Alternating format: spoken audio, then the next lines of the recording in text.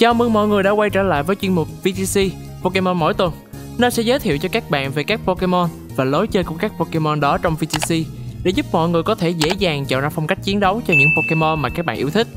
Đến với tuần này thì chúng ta sẽ nói về một trong những huyền thoại đời đầu, đó là Mewtwo. Một Pokemon đã lặn bóng trên đấu trường thời gian gần đây. Là một trong những huyền thoại từ thổ đầu, Mewtwo có thể được coi là Pokemon đại diện cho sức mạnh tuyệt đối trong thế giới bảo bối thần kỳ. Nó cũng được biết đến là Pokemon nhân tạo đầu tiên được con người tạo ra thông qua tế bào gen của Pokemon huyền ảo Mew. DNA của Mew được các nhà khoa học cường hóa và sắp xếp lại trật tự để tạo nên Mewtwo. Điều này cũng tạo nên sự khác biệt to lớn giữa ngoại hình và sức mạnh của hai loài Pokemon này.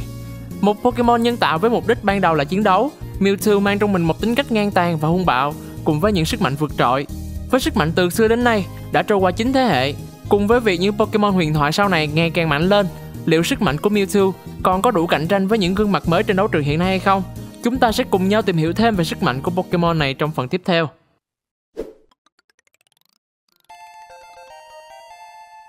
Tổng quan về sức mạnh Là một Pokemon nhân tạo từ DNA của Mew, vốn đã là một Pokemon có sức mạnh siêu linh to lớn, nên sau khi các nhà khoa học thực hiện nhiều thí nghiệm, đã làm cho sức mạnh siêu linh của Mewtwo được đẩy lên cực hạn, đặc biệt là với chỉ số tấn công đặc biệt của Mewtwo rất cao. Tốc độ đủ dùng, các chỉ số khác cũng được tăng cường và khá là cân bằng. Nhờ hai chỉ số công đặc biệt và tốc độ cao như vậy mà việc tấn công dứt điểm đối thủ đối với Pokemon này trở nên khá thuận lợi so với những huyền thoại có mức tốc độ thấp hơn. Các chỉ số khác thì vẫn được cân bằng và đều nằm ở mức đủ với Mewtwo. Về đặc tính thì Pressure, nếu Pokemon nhận được sát thương từ đối phương thì đòn tấn công của đối thủ sẽ mất thêm một PP.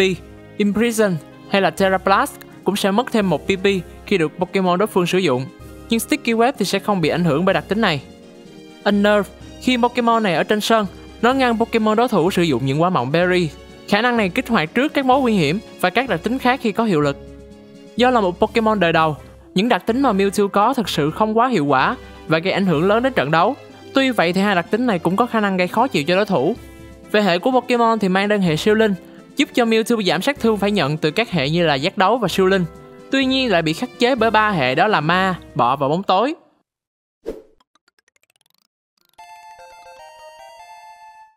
Về điểm yếu và điểm mạnh của Pokemon thì có thể thấy Mewtwo sẽ là một Pokemon tấn công đặc biệt rất đáng tin cậy nhờ có chỉ số tấn công đặc biệt và tốc độ đều nằm ở mức cao. Nhưng điểm yếu của nó cũng lộ rõ ở hệ siêu linh. Dù có thể kháng được sát đấu và các Pokemon siêu linh khác, nhưng hệ của Mewtwo vẫn là một hệ không quá tốt trong đấu trường hiện nay vì bị khắc chế bởi hai hệ rất mạnh và thông dụng là ma và bóng tối. Cộng với khả năng thủ vật lý cũng khá hạn chế mà các chiêu thức như là bọ và bóng tối của các Pokemon sử dụng nắm đấm sẽ là một mối đe dọa cực kỳ lớn đối với Mewtwo.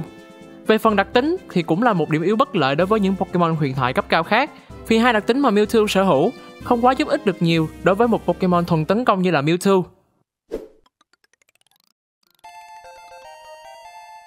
Về lối chơi và chiến thuật xoay quanh, qua những điểm mạnh và điểm yếu kể trên thì chúng ta sẽ lựa chọn lối chơi setup, các lợi thế trên sân cho đội hình cũng như là tạo lợi thế cho Mewtwo hoàn thành vai trò tấn công đặc biệt chính trong đội hình. Với lối chơi này cần phải tinh chỉnh nên cho Mewtwo ra sân trước để đánh nhanh thắng nhanh với những đối thủ mỏng manh hoặc là nên để đồng đội ra trước để làm suy yếu đối thủ, tạo lợi thế về cuối trận cho Mewtwo, hạ gục những đối thủ còn lại.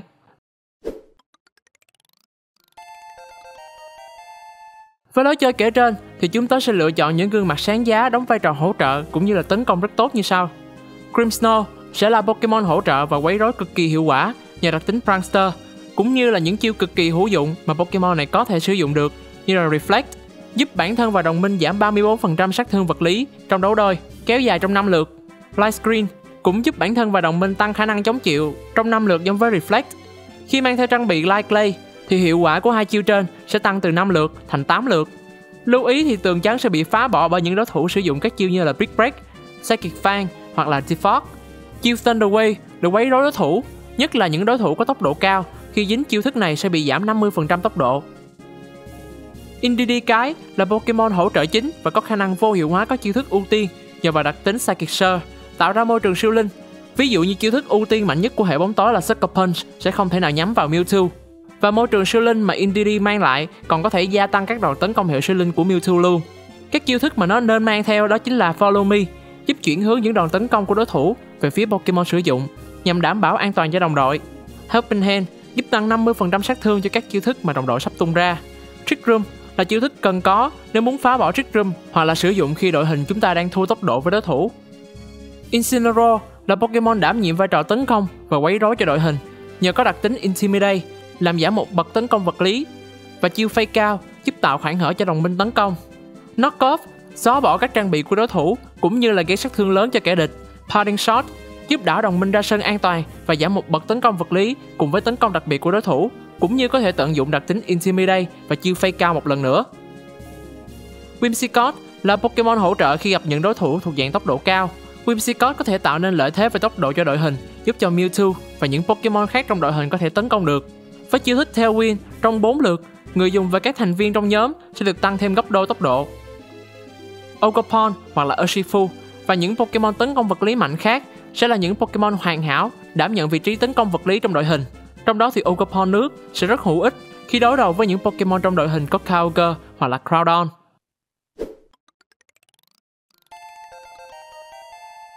Về mặt chiến thuật, như lối chơi đã kể trước đó thì ở lượt đầu chúng ta nên cho Grimmsnarl ra sân để dựng tường chắn cho đồng minh cùng với một Pokemon tấn công có thể là Incineroar để quấy rối và làm suy yếu đối thủ. Khi đối thủ đã suy yếu nhất định hoặc là Pokemon chúng ta đã bị hạ thì đảo Mewtwo ra sân tấn công nhằm kết thúc trận đấu. Một Pokemon hỗ trợ còn lại là Indeedee và Whimsicott sẽ là lựa chọn tùy vào đội hình của đối thủ.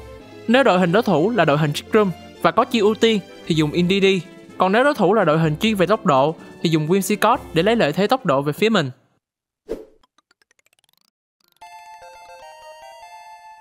Điểm yếu của chiến thuật Đối với những chiến thuật trên thì việc trụ sân và tấn công của Mewtwo sẽ là khá phụ thuộc vào những Pokemon hỗ trợ tạo lợi thế.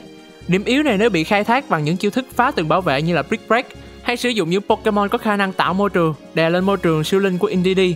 Nổi tiếng nhất có thể nói đến hai Pokemon là Rillaboom và Miraidon trên đấu trường hiện nay thì sẽ làm giảm sát thương của Mewtwo đi khá nhiều.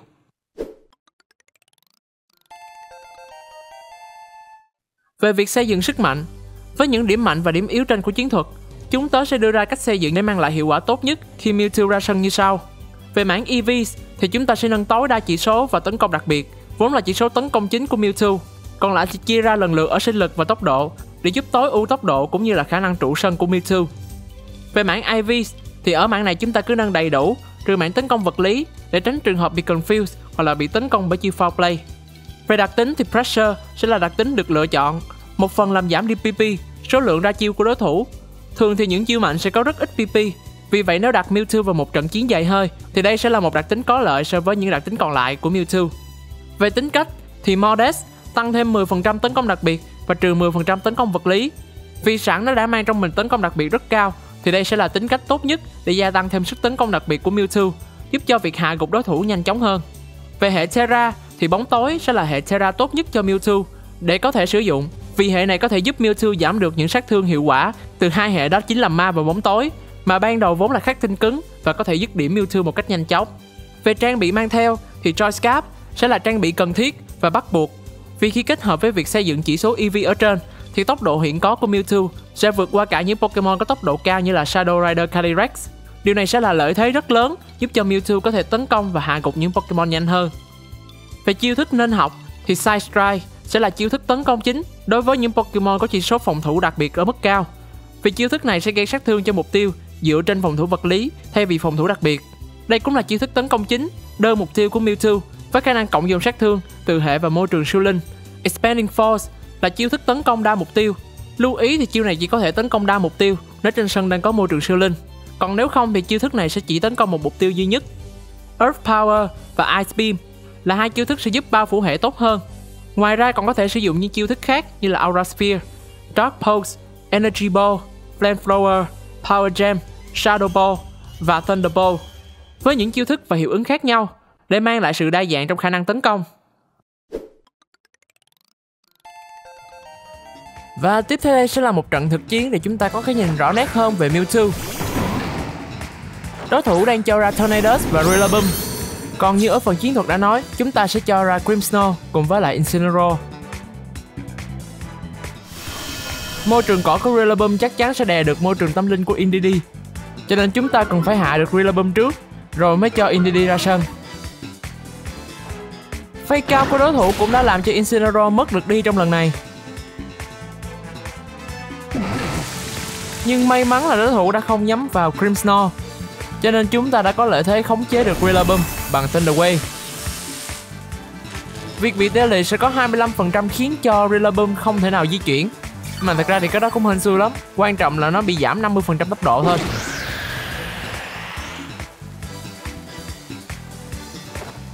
Ở lượt này thì chúng ta đã có khả năng dựng được Reflect để giảm được 34% sát thương cho toàn đội hình. Và đúng là Rillaboom đã bị tê liệt. Quá hên. Chúng ta sẽ dùng U-turn để đảo Incineroar về nhằm kích hoạt lại được Intimidate cùng với chiêu phái cao. Lúc này thì Mewtwo đã có thể ra sân. Vì khả năng chống chịu cũng đã được tăng cao, cùng với lại việc khống chế được Rillaboom đã có thể cho nó khoảng hở để mà tấn công.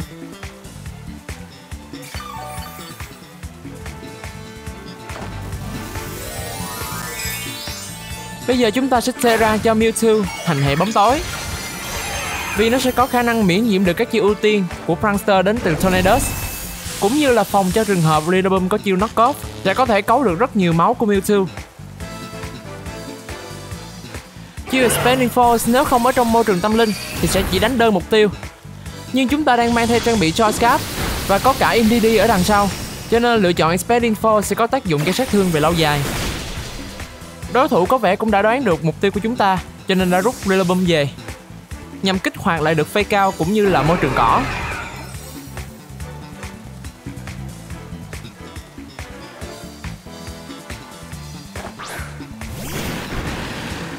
Urshifu hệ nước cũng đã ra sân.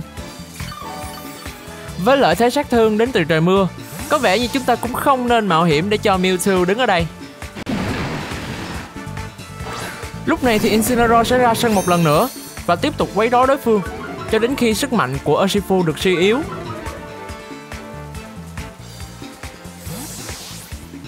Đối thủ đã rút Tornadus về. Có vẻ như lúc này Calyrex đã ra trận.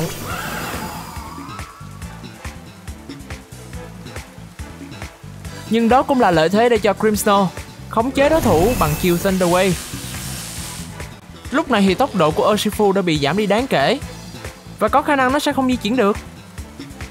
Và đúng vậy, nó không di chuyển được trong đợt này. Quá hơn cho chúng ta.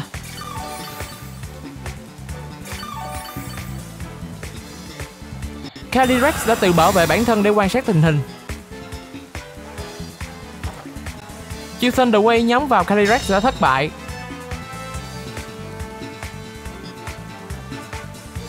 Urshifu đã tung trưởng và một lượng sát thương khổng lồ đã nhắm vào Incineroar. Có vẻ là sống sống không nổi rồi.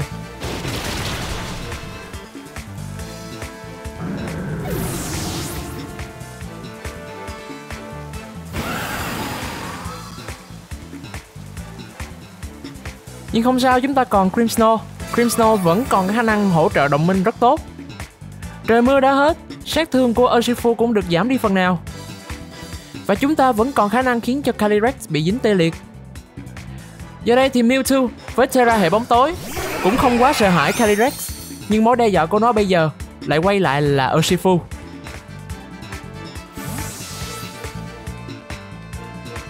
Có vẻ như họ sẽ cho Rillaboom ra sân. Môi trường cỏ được thiết lập một lần nữa, cùng với lại chiêu fake cao, có vẻ như sẽ vô hiệu hóa Mewtwo trong lượt này nhưng chúng ta cũng đã mang theo một hỗ trợ tuyệt vời đó chính là Indeedee. Nó sẽ thiết lập môi trường tâm linh, đè lên môi trường cỏ, và ngăn chặn các chiêu ưu tiên như là fake cao của Rillaboom.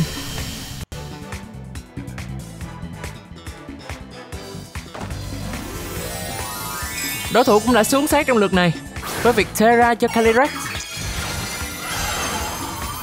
Trận đấu đang có hồi cao trào rồi. Lúc này thì chiêu Expanding Four trong môi trường tâm linh sẽ đánh hai mục tiêu liên tiếp tăng 50% sát thương trong môi trường tâm linh, rồi cộng thêm 30% sát thương trong môi trường tâm linh nữa. Khiến cho chiêu này có sát thương cực kỳ khủng bố. Có vẻ như lúc này Calyrex sẽ không thể nào làm gì được cả hai Pokemon trên sân của chúng ta.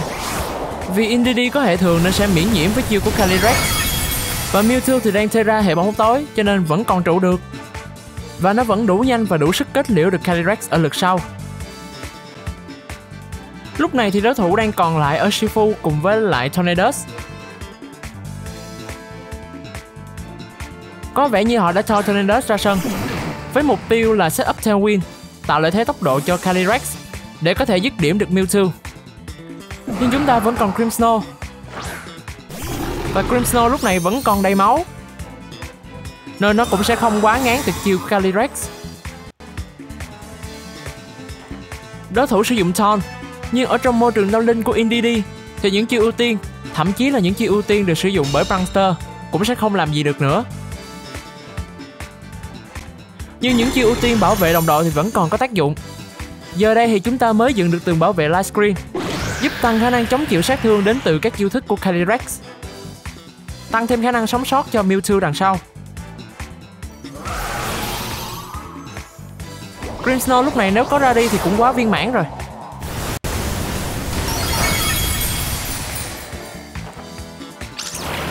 Sidekick sẽ có thể dứt điểm được Calyrex trong lượt này.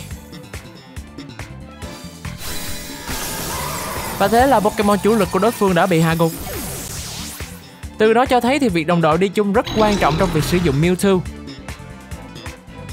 Pokemon cuối cùng của đối thủ cũng ra sân, đó chính là Urshifu. Nhưng nó đã bị giảm tốc độ vì tê liệt. Rất có thể Infinity sẽ dứt điểm được Urshifu. Nếu Infinity chống chịu được ba đòn tấn công của nó Có vẻ là được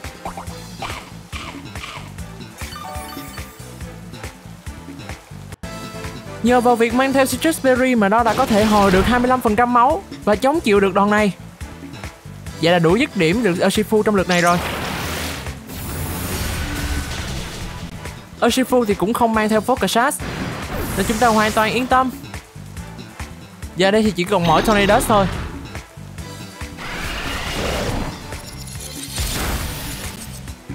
Một phần là cũng nhờ có tường bảo vệ Reflect mà đã có thể tăng được khả năng sống sót cho Indeedee. Và đối thủ đã bỏ cuộc, trận đấu kết thúc.